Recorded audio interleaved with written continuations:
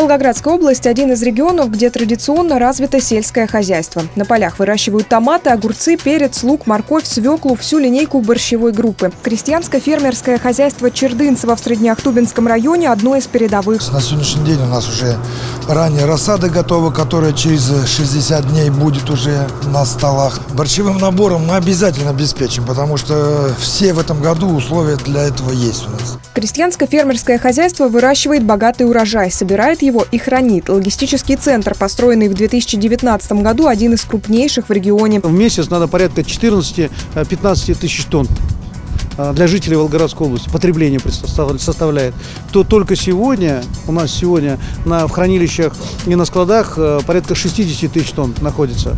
То есть мы понимаем прекрасно, что до начала э, урожая э, мы полностью обеспечены овощ, всеми овощами э, в полном объеме, даже еще с запасом. Решение губернатора о формировании региональной программы развития семеноводства представители отрасли поддержали.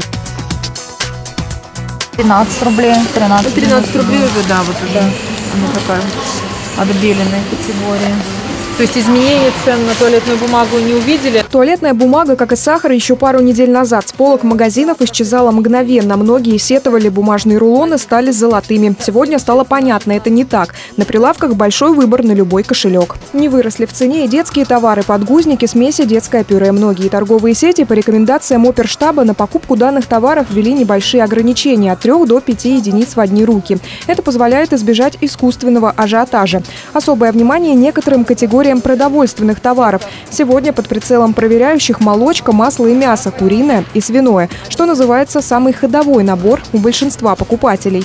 В принципе, стараемся брать то же, что и там, месяц назад. Вот. Но импортное это или российское, как бы, в принципе, не имеет значения. Главное, чтобы было полезнее, повкуснее. Тем не менее, в магазинах есть и импортная, и российская продукция. Многое волгоградского производства пользуется популярностью у горожан. Мониторинг цены наличия товаров в регионе ведут регулярно. Большой опыт в поддержании запасов продукции первой необходимости был накоплен еще в начале пандемии. В Волгоградской области эту работу выполняют члены профильного оперштаба, и она будет продолжена. Комплексное благоустройство бульвара по улице Титова ведут в несколько этапов.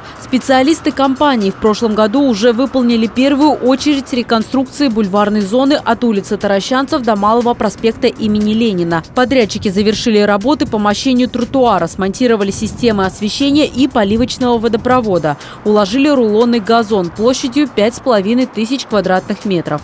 Второй этап работ восстановления территории от Малого проспекта Ленина до Первой Продольной. Помимо этого у нас недавно, как вы помните, были выполнены работы по благоустройству парка Гагарина Гагарина. И теперь этот уголок приобретает, естественно, завершенный вид. Также в этом году будет реконструирован участок от улицы маршала Еременко до улицы Титова, 15. Обновление дополнительной территории стало возможным благодаря экономии денежных средств. В течение 10 дней должны будем подписать контракт на выполнение работ от улицы Еременко до дома Титова, 15. Вот. А, и Планируемый срок окончания работ 1 октября 2022 года. Особое внимание при благоустройстве уделят озеленению. На территории появятся молодые саженцы каштана и новое газонное покрытие на площади свыше 2000 квадратных метров. Своей красотой волгоградцев вновь будут радовать каштаны. Всемирный день театра. Уже более 60 лет его отмечают все деятели театрального искусства. Не обходят стороной этот день и театралы Волгоградской области. По доброй традиции представители всех театров региона собираются вместе, подводят итоги прошедшего сезона и радуют друг друга знаменитым театральным капустником. Это тот единственный день в году, когда актеры многих театров могут увидеть друг друга в неформальной обстановке. В этом году формат чуть-чуть изменился, потому что мы провели э, первый региональный фестиваль «Успех», и сегодня, так сказать, такой волнительный момент. Сегодня вручение наград, вручение призов. Актеры 13 театров, десятки номинаций и увлекательная церемония награждения. В зале «Аншлаг». А на сцене выступления маститых коллективов Волгоградской области. Благодарственные письма от Волгоградской городской думы получили актеры и хормейстеры, Художники по сценическим костюмам – все те, кто посвятил свою жизнь миру сцены. Для Ольги Алешиной награждение стало приятной неожиданностью. Очень приятно, что здесь в грамоте отмечена моя именно педагогическая деятельность и сказано в лучших традициях э, театральной, классической школы, потому что ну, наша русская школа драматического актера, это, в общем, я думаю, что это одна из лучших в мире школ. Чтобы яркие образы ожили на подмостках, необходима совместная работа режиссеров и актеров, художников и музыкантов, светотехников и декораторов, специалистов по звуку, гримеров и работников технических цехов.